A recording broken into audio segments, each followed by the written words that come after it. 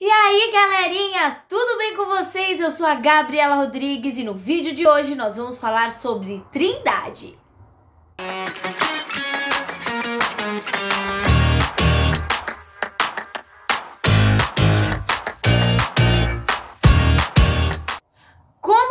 Prometido no vídeo anterior que traríamos o tema Trindade, eu tô aqui para falar com vocês sobre isso e também para esclarecer muitas dúvidas, apesar de ser um tema que muita gente conhece, mas causa ainda muitas dúvidas.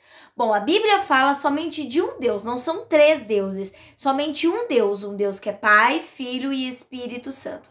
Então é Deus Pai, Deus Filho, Deus Espírito Santo. Bom, para confirmar isso, nós vamos ler a palavra do Senhor, que se encontra lá em 1 Coríntios 8, 6. Vamos ler então? Bora lá. Todavia, para nós há um só Deus, o Pai, de quem são todas as coisas e para quem existimos, e um só Senhor Jesus Cristo, pelo qual são todas as coisas e nós também por ele certo? Você sabia que na Bíblia não existe a palavra trindade? Trindade é um termo usado para representar, para explicar, né, a, as manifestações, as três manifestações ou as três pessoas. Então, Deus Pai, Deus Filho, Deus Espírito Santo. E nós vamos ver as três, essas três manifestações, essas três pessoas, né, entre aspas, é, explicando um pouquinho mais para vocês. Bom, vamos ler mais um texto que se encontra lá em João. Para que você entenda, hoje eu trouxe bastante versículo da Bíblia. Então, nós vamos usar bastante a palavra de Deus hoje para que você entenda bem uh, tudo sobre a Trindade, certo? Então, vamos falar sobre João 5,19.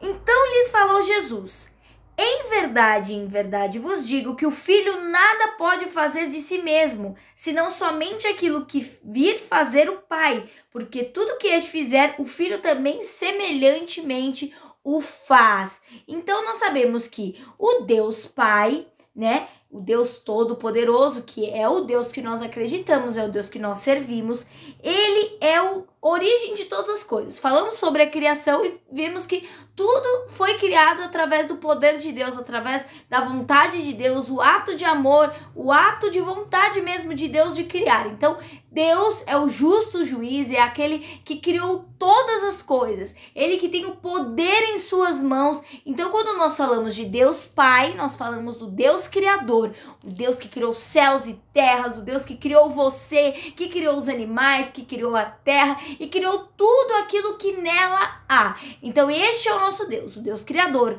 o juiz, aquele que realmente está ali, tem o poder de transformar, tem o poder de realmente interferir na vida das pessoas. Deus Pai, certo?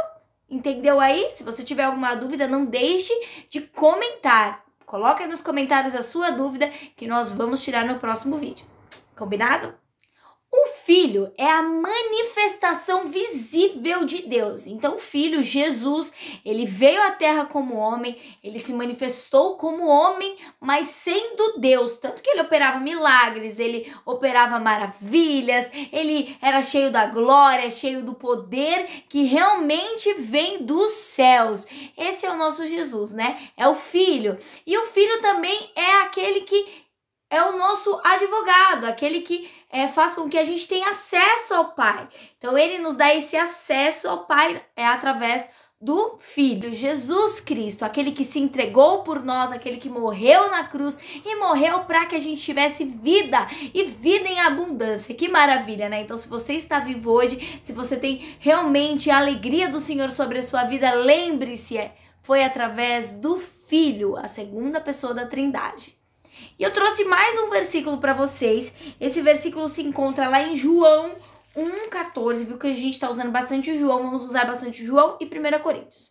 João 1,14. A palavra do Senhor diz assim. Vamos lá, vamos lá. E o Verbo se fez carne e habitou entre nós, cheio de graça e de verdade, e vimos a sua glória glória como do unigênito do Pai, filho unigênito do Pai. Então, Jesus, ele se fez como carne, ele veio na terra, ele passou por tudo que nós passamos, mas sem deixar de ser Deus. todo-poderoso e cheio de milagres. Bom, continuando, o Espírito Santo é Deus agindo em nós.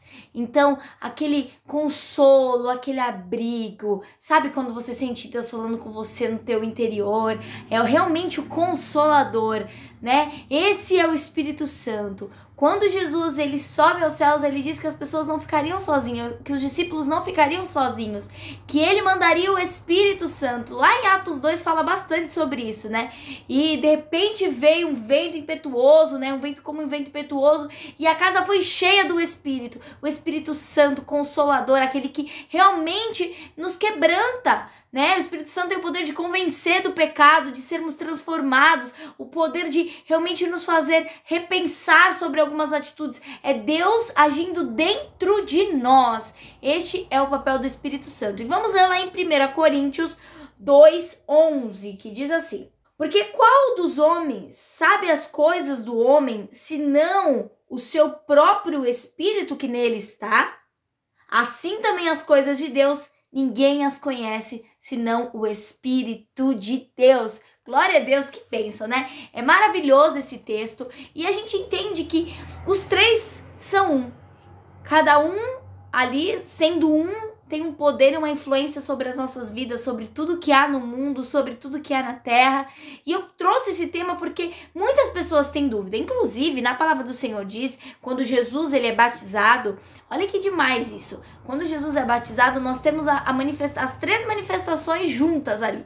Então, Jesus como homem, sendo Deus como homem, temos a voz do Senhor, né? A voz de Deus Pai que vem dos céus e também o momento que o Espírito Santo desce como pomba ali, representando é, o Espírito Santo sobre Jesus. Então, olha que magnífico isso. Deu para você entender bem que a Trindade são três, mas sendo um. Então, Deus Pai, Deus Filho, Deus Espírito Santo. E que os três são um. Não são três deuses, somente um Deus agindo nas nossas vidas, quebrando, consolando, intercedendo por nós e realmente julgando as nossas causas.